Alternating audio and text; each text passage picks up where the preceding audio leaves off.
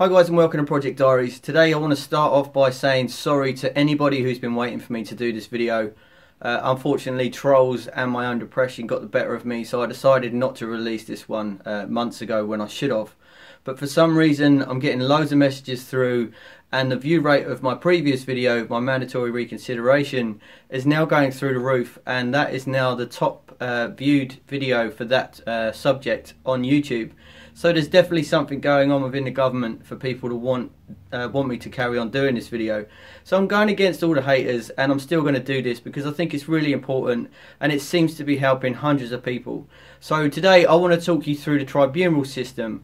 Now this will also include ESA and PIP personal independence payments. It's virtually the same tribunal, uh, but there are a couple of differences. Uh, so I'm going to talk you through those today because I've been through it twice now. Uh, but I will give you some information. There will be a timeline in the description box below if you want to skip to different sections because I will try and cover as much as I can today. But first off, I want to give you some updates on what's going on with Atos. Now, Atos is the company, uh, one of two companies that are in charge of doing these work capability assessments and they've been accused of doing all sorts. Now, Atos and Capita secured a £500 million contract to do these assessments, but within a year, they were so far behind, over 100,000 claimants weren't getting their money or their assessments. This actually backfired and led to an investigation into both of these companies to find out why they were falling short. It turns out that they promised the government and the DWP that they had 740 outlets to do these assessments, which was a complete lie in their tender document. This is the contract for them to get these assessments. It turned out they only had 96 assessment sites, which is why they were falling short so quickly. The DWP were also accused of turning a blind eye and knowing about this system, but still paying them anyway. Between 2011 and 2014, nearly 2,500 people died because they lost their benefits. This meant they wasn't getting the carers that they need and they couldn't get the access to hospitals or treatments that they needed either. With all this money coming out of taxpayers' pockets and going into privatised companies, this led to an investigation into the Tory party, who were dragged through the court system themselves. They were taken to two different tribunals in the UK and one in the EU, and all three of them found the Tory party guilty of violating human rights. So this basically means the government now need to go back and revisit 1.6 million cases and open the system up to people with mental health issues. So the difference between DLA and PIP are basically it, your old system was based on your uh, your symptoms and your diagnosis. So if you had spinal bifida and you had uh, medical records to back that up, you then got the higher rate reward but PIP is based on how it affects you. So you can give them all the MRI scans, x-rays and everything else and the diagnosis of whatever your long-term illness is, but it's how it affects you. You can have uh, certain spine problems, walking problems, but they want to assess your day-by-day -day activities, whether it be cooking, cleaning, washing yourself, uh, cl uh, clothing yourself and things like that. So it's slightly different system. Because of millions of people were losing their benefits and it was taking over a year for them to get these tribunal dates, this added so much stress, anxiety and frustration towards disabled people, causing over 80% of disabled people to have worse symptoms from when they first started. Now if you've been following my channel closely, you'll notice a huge decline in my health as well. This is mainly due to this system. Now a lot of people have been waiting a year for their tribunal dates. I had to wait 17 months but finally it came through and I've went through it. So today I'm going to talk you through how to go through an ESA or a PIP tribunal service. And here's how you have to do it. Now today's video is advice on the first tier tribunal system. If you fail this, you can go on to a second tier tribunal, but if you if you failed at this point, it's probably because you haven't got enough medical evidence, uh, and it's going to be very difficult to fight it again after this point. But today I'm going to talk you through the first tier. Now, if you haven't gone through your mandatory reconsideration section yet, I definitely suggest checking out this video first. Watch that and then come back to this because you have to go through the tribunal system after you've done that video. Now at this point you've basically been completely ignored by the DWP, Atos and the assessor that you've had for about 10 minutes uh, who wasn't really qualified, who was a healthcare professional, didn't know much about your disability and you've probably uh, been given the wrong kind of quotes or the wrong assessment. For me, I had a paralysed left leg. I was given zero points when I was on previous DLA higher rate and basically told that I was just fit for work and just I didn't qualify for anything. So I've had to drag them all the way through the courts to go to the tribunal system. Now, tribunals aren't like courts at all. Now, in a court, you're usually put on a witness stand, and there's different tier systems. The judge is usually higher, and the lawyers are usually in the dock. Nothing like that at all. Now, court system, you would have to get your own lawyer, and you would usually go up against a judge and some witnesses, and it's a, quite a, a tough system.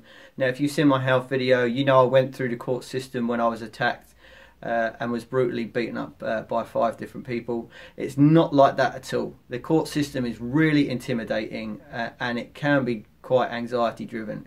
But the tribunal is a lot more laid back and it's done in an office building or somewhere a little bit more chilled out. So please don't worry about that. So, what is a tribunal? It's basically an independent decision maker that's going to go through all of your medical records to find out if you have a case and to see if Atos, Capita, or the DWP have made any mistakes and to come to their own conclusion on whether you're eligible for these disability benefits. Now, if you're going through an ESA tribunal, you will only probably have two people. Now, that would be the judge and a doctor. If you're going through the PIP tribunal, you will have three, maybe four people. Like I said, that would be the judge, the doctor, and somebody who's uh, either disabled or a carer. You're usually sat opposite the, the three members of the tribunal service, and it's just laid back. So please, please don't let that be a worry to you. You may also have, and they they told me it was rare, somebody from the DWP to come in and sit in. Now, if this is rare, I had it on both times, so I must have just been really unlucky but they're there not to really do anything. They're there to just over, oversee the whole tribunal service. Now, once you've sat down in the office, they will address you uh, to whichever name you, you ask for, and they will say the same. So you don't need to address the judge as your honour or sir or anything like that. They will they will say the names that they want you to address them by. So that's also quite a nice laid back uh, system as well.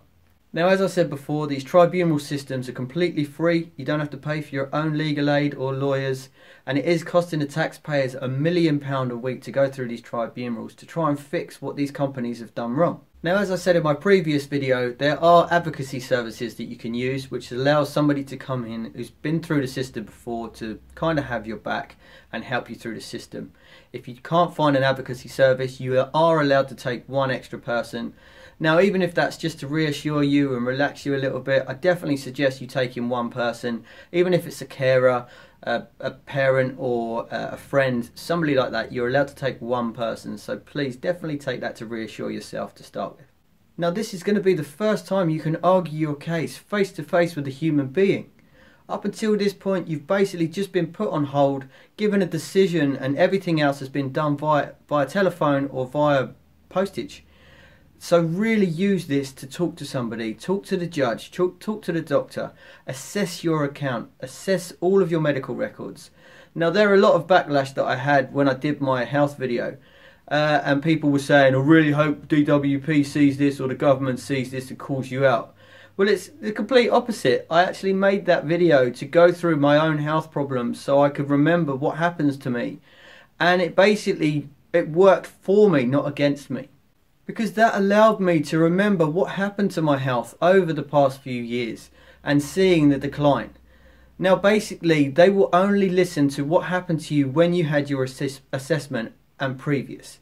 If your uh, disability then declined after your assessment, you'll have to reapply, and I'll talk to you about that later on. But as for me, this happened 17 months ago, so they will only look at how bad I was at that particular date. So the first thing is knowing what to wear. Now, usually in a court, you'd have to go smart to try and impress the judge, but because this is based on your own disability, you you should just go in whatever you wear day to day. Now, if you struggle getting dressed and need a carer, uh, it's it's really you know sort of just go in what is comfortable. You don't have to. This, they the tribunal want to see a clear representation of what you're like and how you're like day by day. So if you go all smartly dressed and shaven and in a suit, then they're just going to think you're fully, you're completely fine, and you know that's going to probably go against you. For me, I basically had an operation two days prior to my um, my tribunal, So as I wasn't dressed in my regular attire, I did find it necessary to apologise to the tribunal about how I was dressed because there was no other way of me getting there and to so I had to wear shorts and a t-shirt and a hoodie. So pretty much what I'm wearing today, I had to wear to a tribunal, so I couldn't wear trousers. So I felt uh, obligated just to apologise, and it's always good to get them on side anyway. But none of that basically is listened to in a tribunal. Like I say, they only go back to when the assessment was first taken.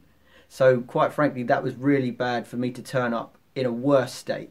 Also, if you're on lots of medication, try not to over, overdo the medication to get yourself through that uh, assessment. Assessments can take quite a long time, anything between half an hour and, and an hour. So if you're really dosed up on lots of drugs, um, when I was there, there was a guy that was really in, uh, inebriated on alcohol and quite hostile. Please try not to do too many too many painkillers, too many drugs, just to try and get yourself there and get through the system. If you're going to be in pain, they're going to want to see this. If you're having struggle, uh, if you're struggling walking and, and sitting and things like that, they're going to want to see this. So don't overdo, uh, uh, overdo your uh, pharmaceutical drugs. So the things to take are definitely all of your documents. Now it's completely unnecessary, but every single medical uh, document that you send to the DWP, by law they then have to send a copy of it back. So at this point you should have two copies of your medical records. So take one of those to your tribunals.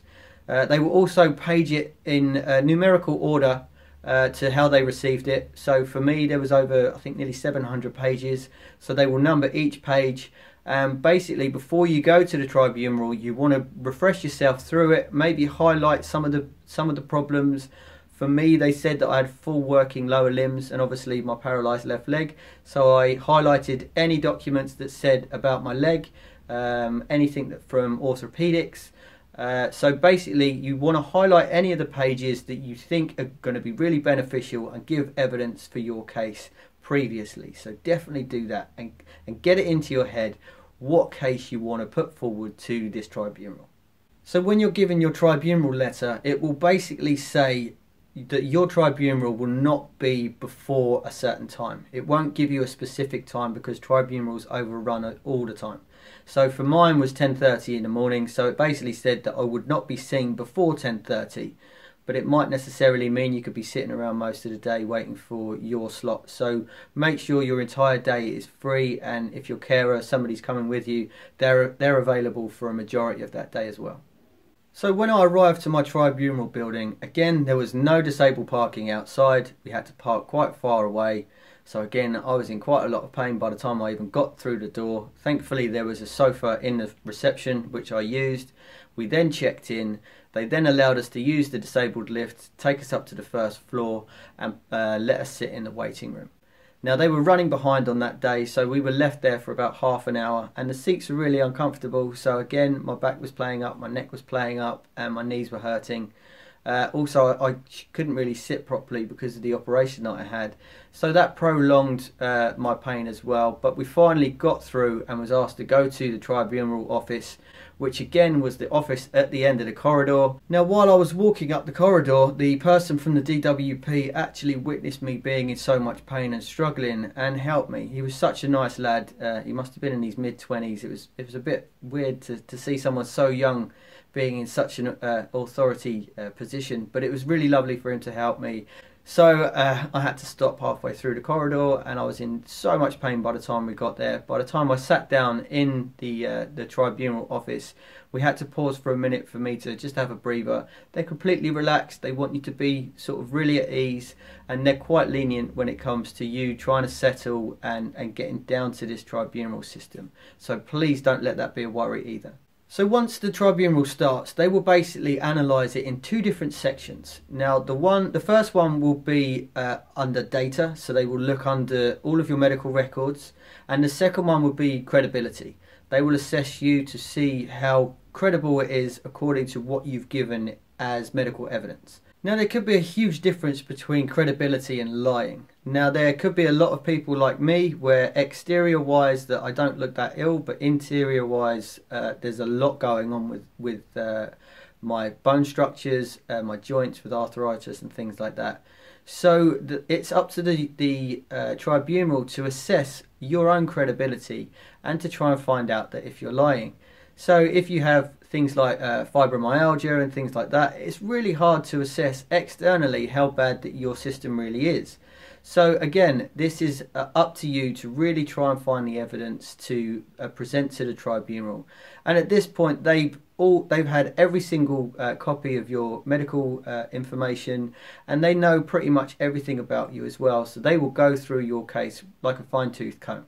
And again, if you're lying, it's quite easy to put on a limp or fake a back problem. But you know, if you haven't got the medical records to prove that, then it, it's quite easy for the tribunal to go through that. For me, I could barely walk on that day, so it, that also went against me because my system was worse to how I was assessed. So everybody that was telling me to go and get a job and stop faking it, eh, you know, whatever. Don't care about trolls. But moving on. Now another thing is is that these people have to pry into your personal life and you have to be really open with them. Now this could be really hard. This could cause anxiety, stress, frustration and just make you feel bad. Me assessing my disability over the years uh, really took a toll on me mentally. Uh, it was very hard for me to, to see what I've been struggling with because I'm such a positive person all the time. I only ever see what I, I can achieve, not what I'm not achieving.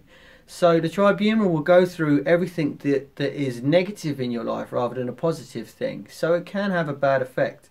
But you're going to have to let them do this and they will go through it really badly. And uh, that's why I suggest taking somebody to your tribunal with you to give you that emotional support. So another tricky thing is, is because this assessment took 17 months, I've kind of got to go back in time and just think about how I was then.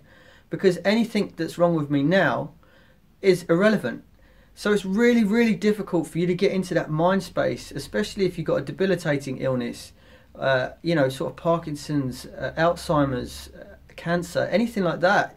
Your system's going to get worse and worse over time. So it's going to be really hard for you to go back to nearly sort of 15, 17 months, which again is another obstacle to get into. So it's imperative that you go through your medical history and try and get it in your head before you even enter this office. So one of the first questions the tribunal asked me was how am I now in comparison to how I was when I was first assessed?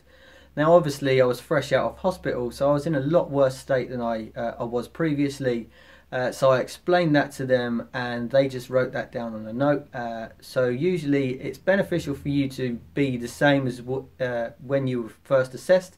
But if you're a debilitating illness and it's got worse, just be open and honest with them at all points. Just be yourself and try not to over exaggerate anything. Just be 100% real and honest. So I also had to explain that the fact that uh, even though I'd just come out of hospital, I was still using crutches on my assessment. I still struggled to get to the assessor's office, uh, and I was still having problems with my knee, legs, back, neck, and etc. So even though my situation had worsened and my pain had got worse, I'd still struggled to get to my original assessment. So that's where the, the parallels were even.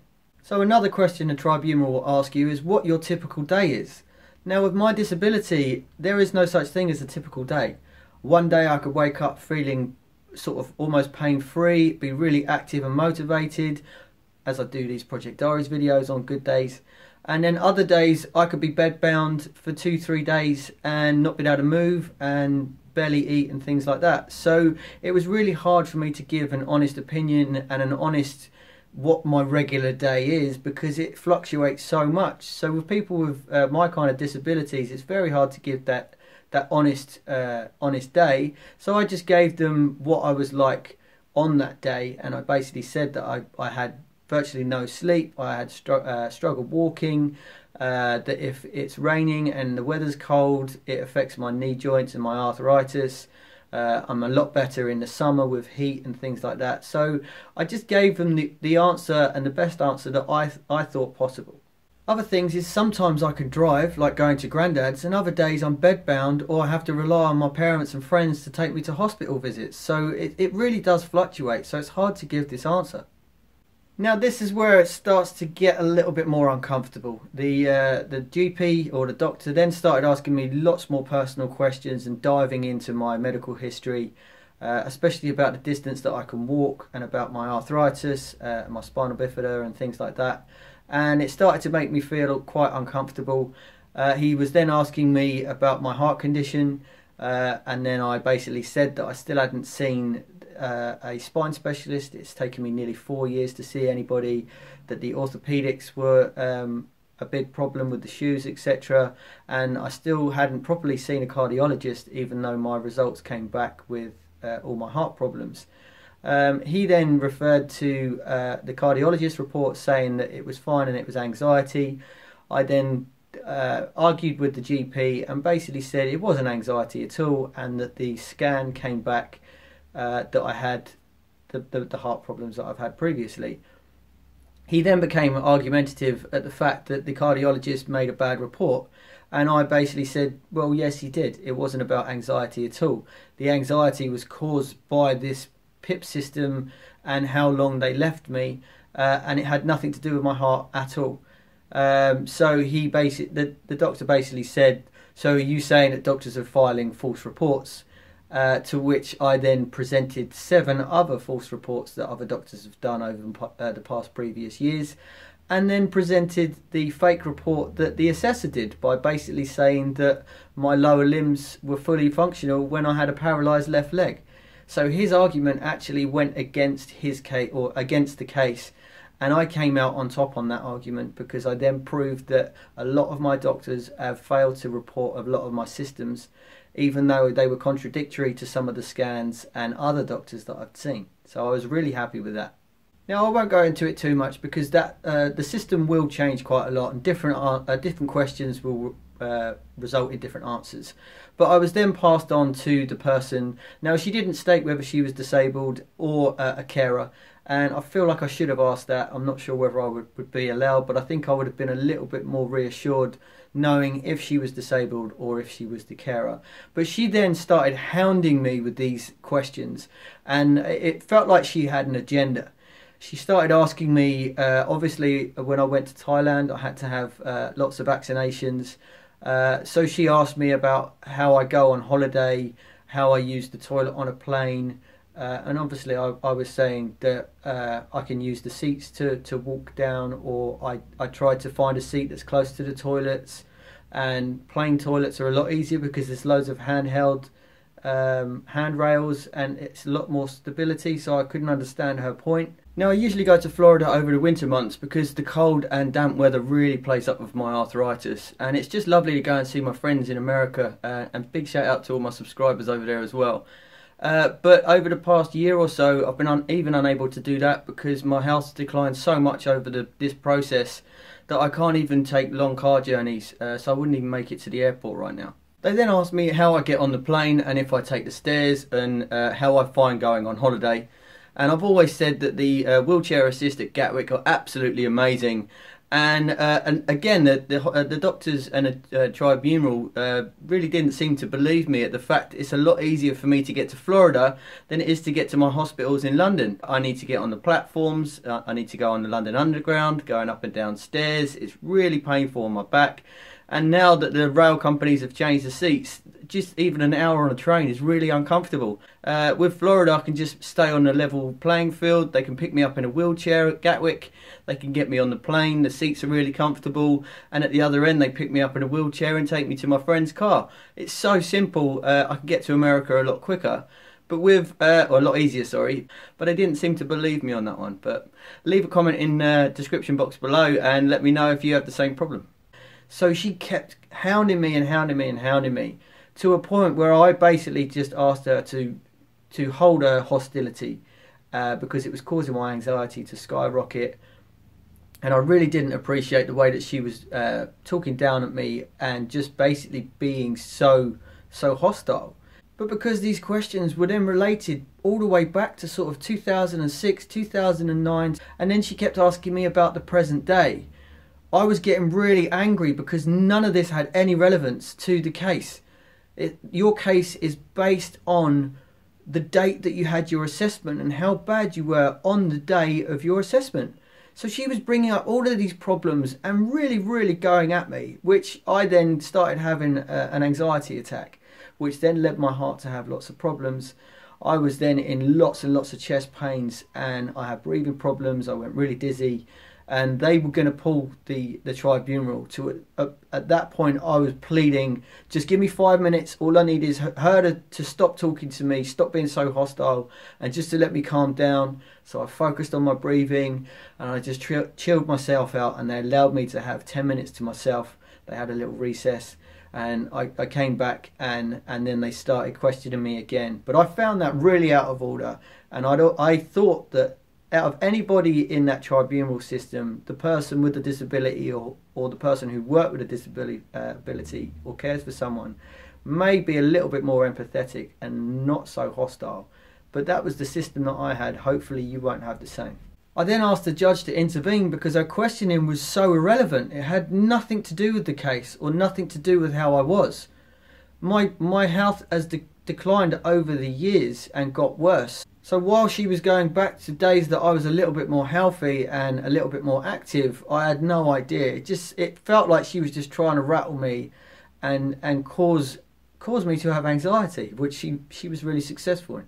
After I got over my anxiety attack, I kindly asked the judge, can we stop asking me moot points and questions that are irrelevant to this case and get down to the nitty gritty because I've been here for 17 months and this questioning isn't leading to anywhere that is evidential to my case.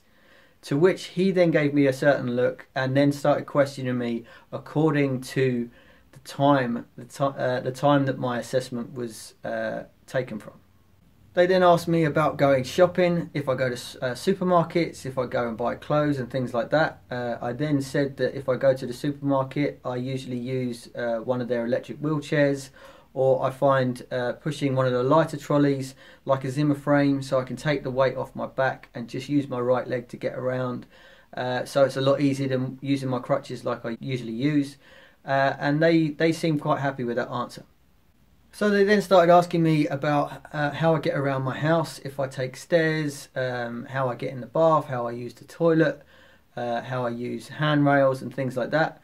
Uh, so that got a bit personal again. Um, I I now live with my parents, uh, so obviously there's no handrails or adjustments or disability things that I need there, and I do actually struggle to uh, to get in the shower and the bath and use the toilet and and just things like that on a day to day uh, on a day-to-day system. And they seem to really be taken back by the fact that we haven't installed any handrails and things like that. We've got two natural handrails going up to up the stairs to my bedroom uh, which are handy but you know they they really seem to be taken back that none of the bathroom had been converted that we didn't have a walk-in shower. Now obviously it's not my long-term uh, idea to, to stay with my parents because of my age. I want to be independent again and, and, and live by myself. So I'm not going to expect my parents to have these kind of aids put into their house and things like that. But they didn't seem to really take that on board. They seemed to be quite shocked. But it was that kind of answer and I gave it fair. Now at this point the tribunal then turned around and said, do I have any final words to say? At this point I then looked round to my mum and asked her to leave the room.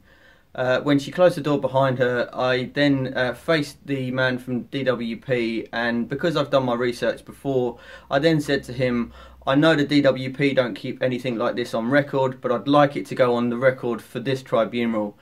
That prior to me uh, going through this system from uh, DLA to PIP, my my life was complicated, but I was managing my pain and my symptoms quite well and I was motivated most of the time and I only, only had a few days that were bad out of the month.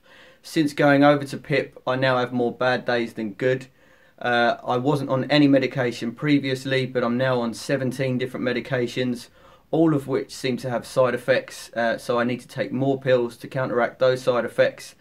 Uh, it's caused me to have loads of mental health problems uh, I've had a nervous breakdown, a heart attack, and I even became suicidal at one point. Um, so this system is really hard, um, and that was before I was I was completely fine. So I can really empathise with people with mental health issues uh, and long term illnesses that that are um, that are just a little bit tougher than what I've had. I was a really strong minded person, and this system still broke me And the only reason why I said this is because I felt completely defeated after this entire process anyway. I really felt like the, the lady that was um, really hostile and, and, and quite talking down at me, it felt like she already she already made up her mind. The, the doctor seemed to, uh, to disbelieve the fact that I had so many uh, different uh, wrongful doctor reports, even though I had that as evidence. And the judge seemed to be on the fence, so I didn't feel like I had anything to lose. So I just wanted to get that off my my chest just to make myself feel better.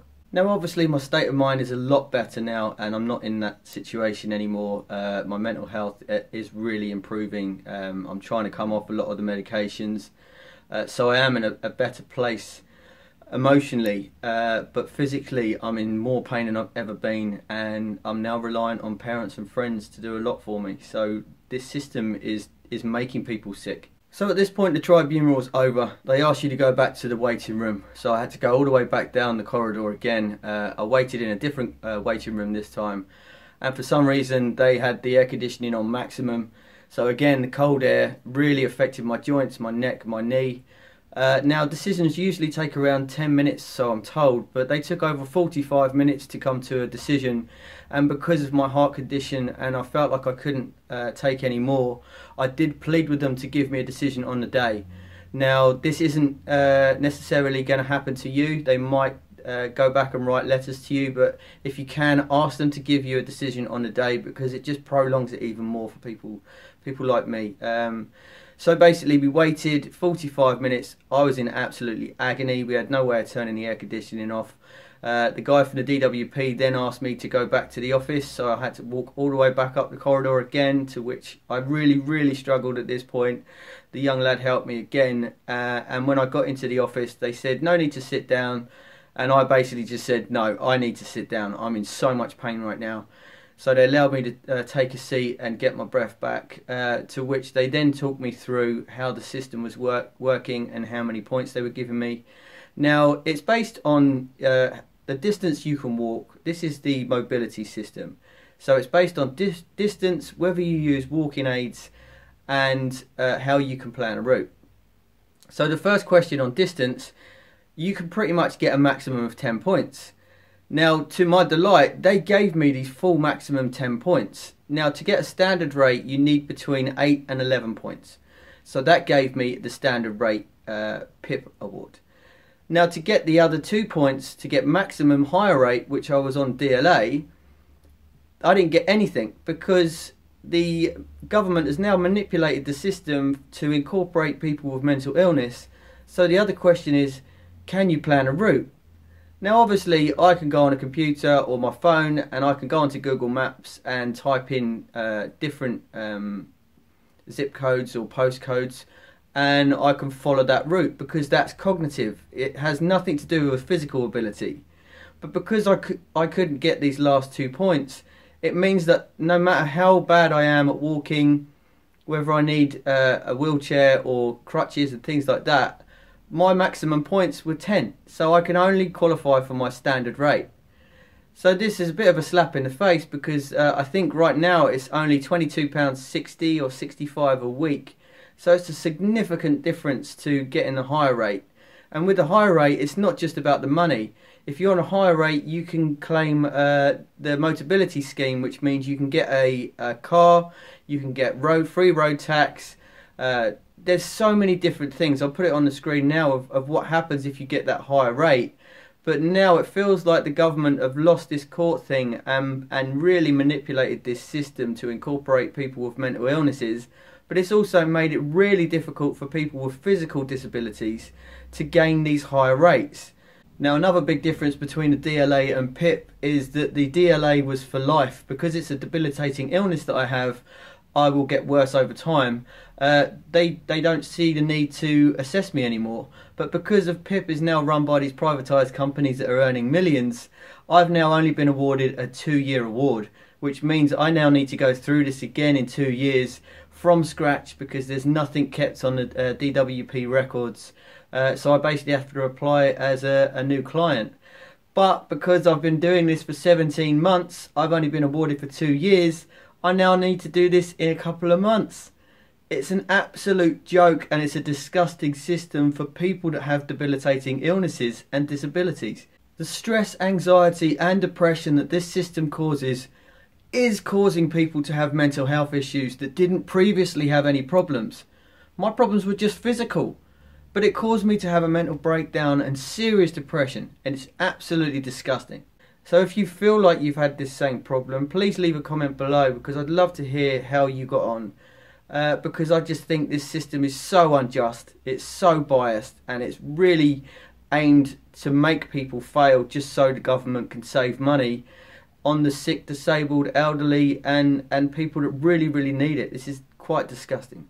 And on a side note, just because the DWP is still earning millions in bonuses, even though this system is completely flawed and they're still turning a blind eye to all these privatised companies, they won't leave you out because you'll get a £10 bonus every year. So the 17 months it's taken me to go over from DLA to PIP I've pretty much been unable to work for the past year. I've not been able to drive since July. My parents are now allowing me to live at theirs uh, rent free. I've, I've virtually been unable to pay any of my bills. I've racked up huge debts on my credit cards, and I've pretty much found life really difficult. Uh, like I said before, personal independence payments, it, it takes away your identity it takes away your independence and it's taking away a lot of my income because I'm unable to work right now. If it wasn't for this channel and people that are, are giving me donations through PayPal and um, Patreon, I really don't know how I would have survived and, and really got on this year. It's been a really tough, tough year, and I, I just can't thank all my subscribers enough for the love and support you've all been giving me. Uh, but this means that my circumstances have changed uh, I've not been able to get around the house. Obviously, I've not been able to get in the garden and see Grandad, and I've pretty much been uh, housebound. And my parents are now uh, caring for me, and friends are now helping me get to and from hospitals. And the best thing, or well, I mean that in a most sarcastic term, is that the NHS cuts are now meaning that a lot of my departments locally for my hospital have closed down.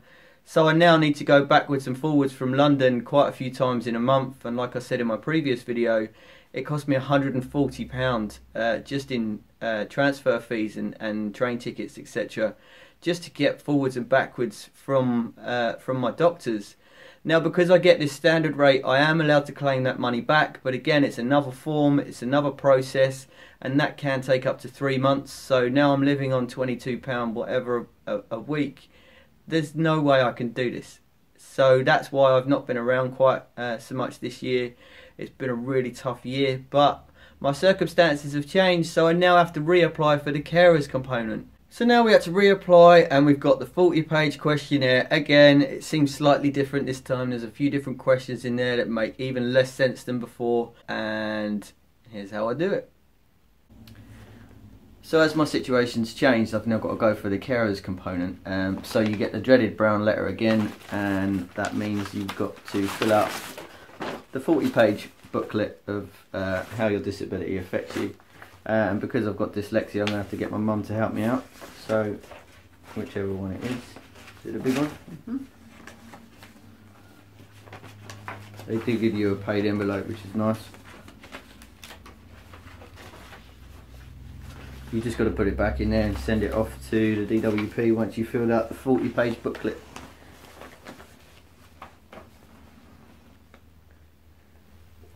So, we'll do this again.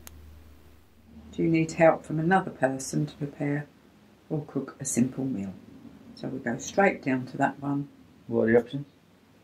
Do they mind or motivate you to cook? Do they plan the task for you? Do they supervise you? Do they physically help you? Do they prepare all your food for you? Well, it's the last one, but you've only got a yes. This includes help you have and help you need but don't get. Yes, no, or sometimes. So, why, is there, why is there not a tick box between each one? So, I think if we just tick the one that we think. We just say yes? If you click it, if you just tick yes, how are they going to know which one out of the five options it was? So I think we tick the, by the side of it. This is ridiculous. Yep. I guess so. One. that one. Yeah. If you'd like to keep up to date on all of my future releases, click the subscribe button here. Here are some links to some of my other videos. Thanks for watching, and I'll see you again next time.